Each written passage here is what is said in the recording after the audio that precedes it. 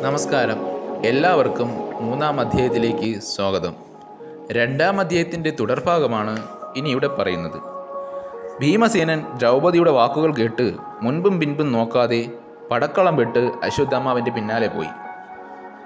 ഇതെല്ലാം അറിഞ്ഞ കൃഷ്ണൻ അർജുനനോട് പറഞ്ഞു അർജുന ഭീമസേനൻ ആപത്തിലേക്കാണ് പോകുന്നത്. സ്വതവേ തന്നെ ഏത് ശൂരനെയും തോൽപ്പിക്കാൻ കഴിവുള്ളവനാണ് അശ്വത്ഥമാവ്.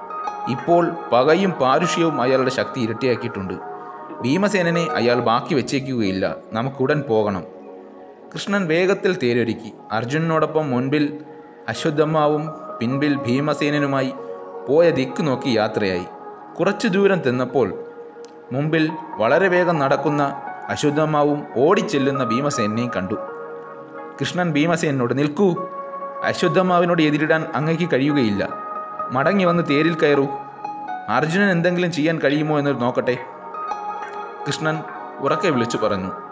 കൃഷ്ണന്റെ ശബ്ദം കേട്ട ഉടനെ അശ്വത്ഥമാവ് പിന്തിരിഞ്ഞു നോക്കി. എന്നിട്ട് കൃഷ്ണനെ നോക്കി ശകാരിച്ചു. കൃഷ്ണ ചതിപ്രയോഗത്തിൽ അങ്ങേക്കാൾ സമർത്ഥനായി ആരുമില്ല. ഭീഷ്മപിതാമഹനെയും എന്റെ അച്ഛനെയും കർണനെയും ജയദ്രഥനെയും ചതിച്ചു കൊന്നു കളഞ്ഞു ചതിച്ചിട്ട് തന്നെയാണ് ദുര്യോധനെയും കൊന്നത്. അങ്ങയുടെ ചതിക്കെതിരായി ഞാനും ഒരു ചതി ചെയ്തിട്ടുണ്ട്. ഉറങ്ങിക്കിടക്കുന്ന ശത്രുക്കളെ കൊല്ലരുതെന്നാണ് ധർമ്മയുദ്ധത്തിലെ നിയമം. എനിക്കതറിയാം. പക്ഷേ ഇക്കഴിഞ്ഞ പതിനെട്ട് ദിവസവും ഇവിടെ നടന്നത് ധർമ്മയുദ്ധമാണോ? ഈ അധർമ്മയുദ്ധത്തെ അങ്ങ് എന്തിനാണ് ധർമ്മയുദ്ധമെന്ന് പേരിട്ട് വിളിച്ചത്? പാണ്ഡവന്മാരെ അഭീതമാവണ്ണം സഹായിച്ചു. ഇതൊക്കെ മറക്കാവുന്നതാണോ? ഞാൻ യുദ്ധസന്നദ്ധനായിട്ടാണ് വന്നിട്ടുള്ളത്.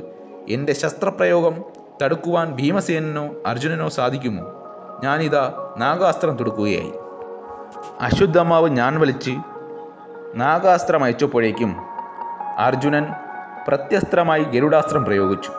രണ്ടുപേരും അസ്ത്രപ്രത്യസ്ത്രങ്ങൾ പ്രയോഗിച്ച് സമത്തിന് സമം പോരാടി. അവസാനം അശുദ്ധമാവ് ബ്രഹ്മാസ്ത്രം എടുത്തു ബ്രഹ്മാസ്ത്രത്തിന് പകരം ബ്രഹ്മാസ്ത്രമാണ് എന്നാൽ അർജുനനും ബ്രഹ്മാസ്ത്രം തൊടുത്തു.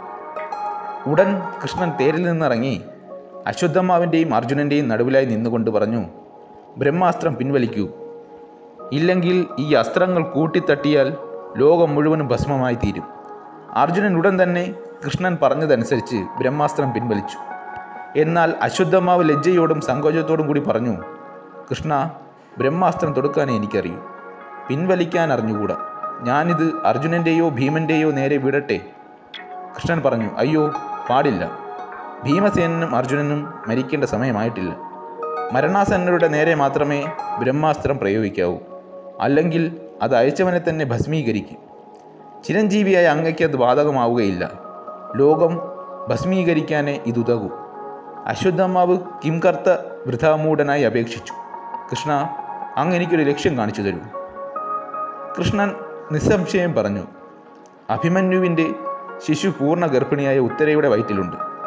ആ ശിശുവിന്റെ നേർക്ക് അസ്ത്രം വിടൂ അശ്വത്ഥമാവ് അത് പ്രകാരം മന്ത്രം ജപിച്ച് അസ്ത്രം വിട്ട് ആഹ്ലാദത്തോടെ പറഞ്ഞു കൃഷ്ണ എനിക്ക് സന്തോഷമായി. ധാർത്തരാഷ്ട്രം കുലം മുഴുവൻ കുറ്റിയേറ്റ് പോയെന്ന് ദുഃഖിച്ചുകൊണ്ടാണ് ദുര്യോധനൻ മരിച്ചത്. പാണ്ഡവകുലവും കുറ്റിയേറ്റ് പോകണമെന്ന് ഉദ്ദേശിച്ചാണ് ഞാൻ ദ്രൗപദിയുടെ പുത്രന്മാരെ കൊന്നത്. അഭിമന്യുവിന്റെ ഒരു ശിശു കുലം കുറ്റിയേറ്റ് പോകാതിരിക്കാനുള്ള ഒരു നാമ്പ് അവശേഷിച്ചുണ്ടെന്ന് ഞാൻ അറിഞ്ഞിരുന്നില്ല. ഇപ്പോൾ അതും ഇല്ലാതായല്ലോ. നന്നായി. കൃഷ്ണൻ ഒന്നും പറഞ്ഞില്ല. മൗനിയായി അവിടെ നിൽക്കുകയാണ് ചെയ്തത്. അടുത്ത ഭാഗം അടുത്ത ദിവസം അപ്ലോഡ് ചെയ്യുന്നതായിരിക്കും. നന്ദി.